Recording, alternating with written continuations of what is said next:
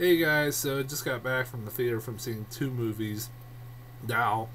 Um, the first movie I saw was the Fantastic Four reboot, remake, or whatever you want to call it.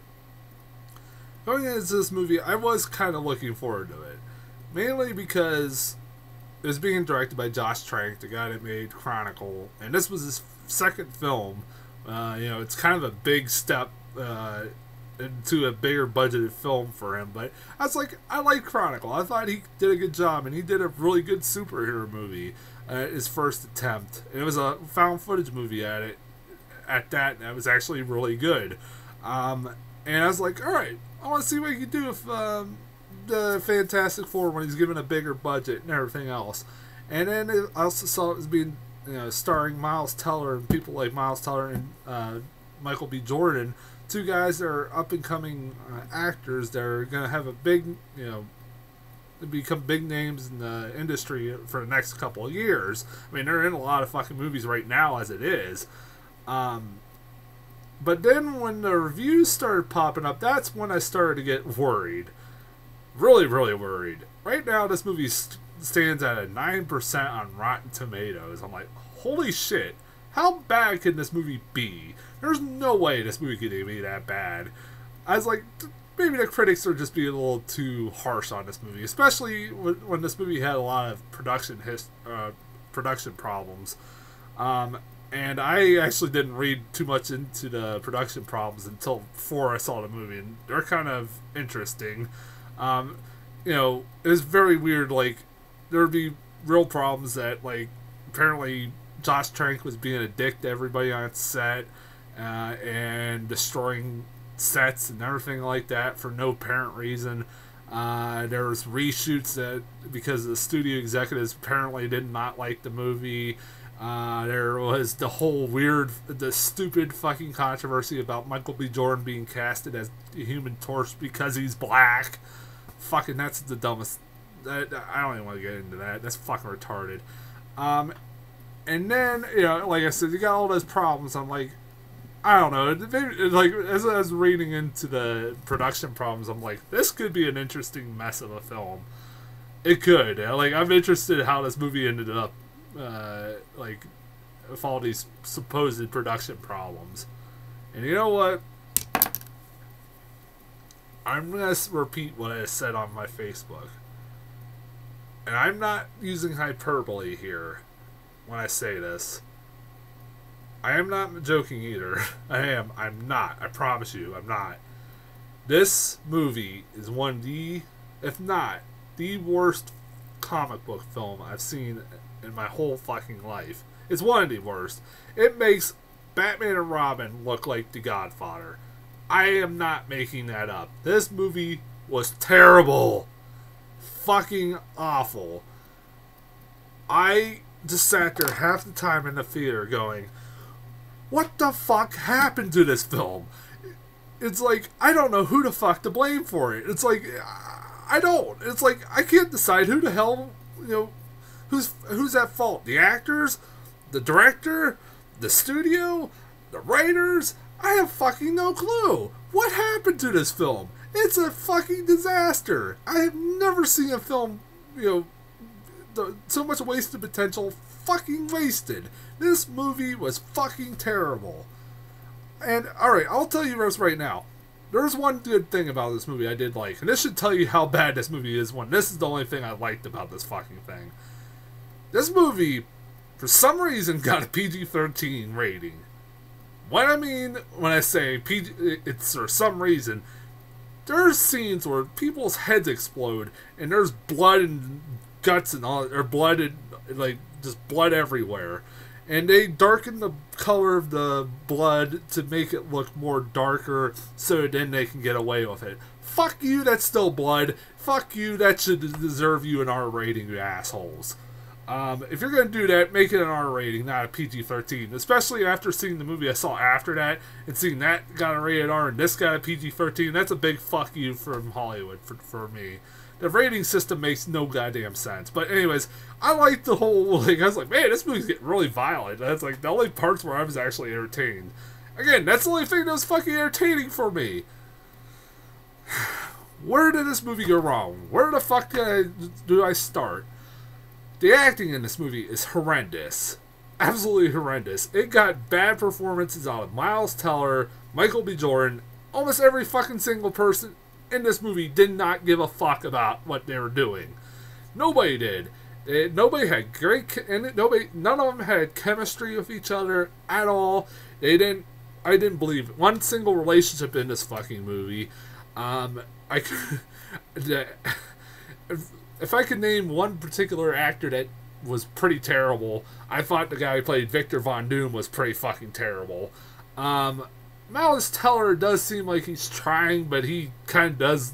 You pretty much can tell he doesn't really give a fuck about what he's doing. He just wants to get. He just wants the fucking paycheck. Um, and it's so fucking retarded. It's so sad because you're like you see all these talented people in this movie, and you're like, they really do. They just don't give a fuck about this movie. I could never. I've never seen actors give less of a fuck about what they were doing in a movie in a long goddamn time. Um, this movie is a is a fucking. When I say it's a mess, it's a movie that felt like a huge chunk of it was fucking missing. I am not joking. It feels like a whole probably hour of this movie was missing. Like there's stuff that just come out of nowhere and just you're just supposed to accept it and go with it. Here's a good example. Halfway through the movie, it fast forwards a, to a year later. Um, after it's right after they get their fucking powers. It fast forwards to a year later.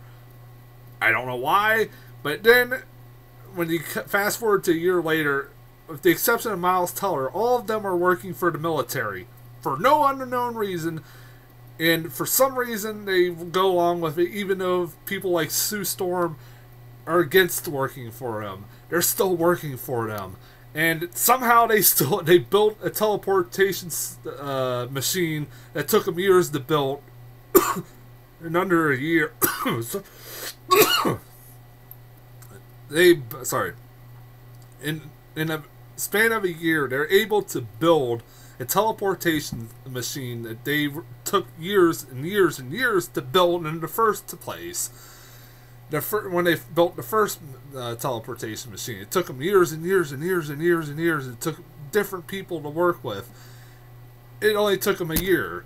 Somehow they built it. They built a new one, and like I said, there's just at that point there's at that point there's no character you know of any of these people. There's no chemistry between anybody, and it doesn't fucking help when they fucking cut to a year fucking later. It makes no sense. they basically just it felt this is what this movie felt like. Is what uh, this is the best way I can put it. Is the first half of this movie felt like the first film in a series, like the Fantastic Four series, where it introduces all these characters. It tries to, um, tries to make you know you care about these characters, but fails. but then the second half, when it cuts to a year later, felt like they also spliced in the sequel to this film in in the last half of the fucking film because then okay, let's get into this. Fucking Doctor Doom. There's a good reason why you don't see him much in the trailers. You want to know why? He's only in the movie for less than 20 minutes. I am not making this shit up. I swear Venom had more time in Spider Man 3 than fucking Doctor Doom did. Honestly, he's just a throwaway villain. The most iconic villain in fucking Fantastic Four is a throwaway villain. Think about that one for a second, people. he literally is thrown in there because I swear this is the only reason he was because they're, the, the filmmakers went, oh shit, we gotta introduce a villain because not until like I swear, like I swear to God, like an hour and twenty minutes in this movie, he does into an hour and forty minute movie, he, does he appear as Doctor Doom out of nowhere? He he has all these powers. He has no explanation. He has all these powers and is killing people for you know unknown reasons that you know never are brought up because there is no characterization whatsoever of anybody in this film. This movie is fucking terrible. And The CGI, by the way, is awful on this damn thing. The thing looks like a cartoon. He looks literally like a cartoon. The Michael Chiklis as the thing looked more realistic than this fucking thing ever did. Oh my god, Doctor Doom looks terrible. Holy crap! He looks even worse than he did in the uh, the on state or the behind the scenes photos that I saw. He looks really bad. Like it's, I swear I was watching a cartoon half the fucking time watching this thing. It's awful. It's like the best example of how CGI is fucking terrible. This movie was awful. I don't know what the fuck happened to this thing. I don't. And also the dialogue is terrible in this movie. Like at one point Sue goes, "Oh, well," it tells tells Victor Von Doom. He says, "Well, we got Doctor Doom over here." Like, "Ha ha ha!" and then there at one point when uh, Ben Grimm is uh, they show him him when he was younger. His brother's beating on him, and he goes, "It's clobbering time." He never fucking says it either in the movie. Like there are a lot of parts. That, like I watched the trailers again, and a lot of the scenes in the trailers are missing from this fucking movie. That should tell you again that a large chunk of this movie probably was taken out, and I think that I think it's studio interference, and like, like maybe there would have been more scenes with Victor Von Doom or Doctor Doom or something like that, explaining how his transition into becoming an evil guy. That might might have helped to, to the point that you would actually give a fuck about a villain, the villain being in this movie. Um, like literally, his transformation comes out of nowhere. He pops up like he, like all right, he disappears for half the movie and then pops back up and he's Doctor Doom. I am not making that up. Like he disappears and then the next thing, time you see him, he's Doctor Doom out of nowhere. Like he's normal, per, normal Victor Von Doom, and then he's the next scene fucking Doctor Doom. It makes no fucking sense. God, this movie was awful. It was a mess. I don't know what like I, said, I don't know what happened. I don't. I don't know if it was studio interference. I don't know if it was Josh Trank being a dick. Maybe that's why everybody acted like they didn't give a shit about anything they were doing. Was because Josh Trank was being a dick. Maybe that's why. I don't know. Like I don't like I, I I don't there's not much else to say about this movie. Don't fucking see it. Don't. Don't. If you listen to the critics. I, like literally I was left the theater when I left the theater and I had a little bit of break between two movie the two movies I saw. I went to the concession stand and the girl was asking me trying to be oh, Jesus. The person that was up at the concession stand was trying to be conversational with me and say, Hey, what you go see? And I said, I just saw Fantastic Four. Like, how was it? I said, it was fucking terrible. And it's, they're like, really? Why? I, said, I was telling them exactly why. They said, that's exactly what the people that are leaving the theater were saying. I said, I'm not the only one. Don't fucking see it. Don't give this fucking piece of shit a the money. You know, so we won't get a fucking sequel. Maybe, just maybe, Marvel will take the rights back from uh, 20th Century Fox so we can get a decent, hopefully, Fantastic Four movie from Marvel. I they haven't. You know, they took the rights for Spider Man. Hopefully, they can take the rights for fucking Fantastic Four. Hopefully. Anyways, yeah. Uh, as far as trailers. Damn it. Hold on a second. Uh, as far as far as trailers, I got the Deadpool trailer. Um, I again, I know a lot of people really hope have a lot of hope for this movie. I do too. This looks like it could be fun.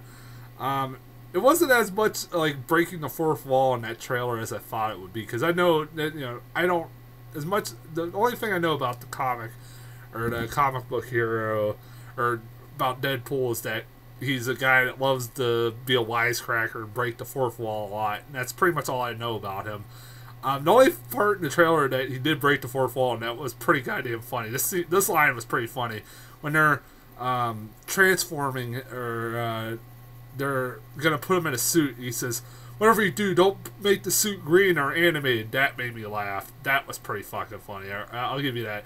And it's like shows that like at the beginning that it looks like it's gonna be like one of your stereotypical dramas where he has a family and he's about to ha- he has cancer and then he becomes Deadpool some reason. I don't know.